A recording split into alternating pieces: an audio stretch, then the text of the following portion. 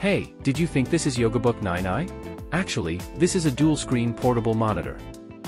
With just one cable, you can extend your laptop to two screens, each with independent windows. Both screens support touch functionality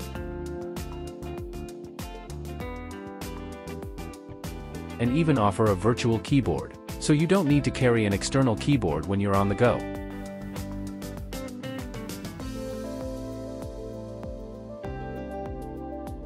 It supports a 4096 level pressure-sensitive stylus, allowing you to make the most of these two screens.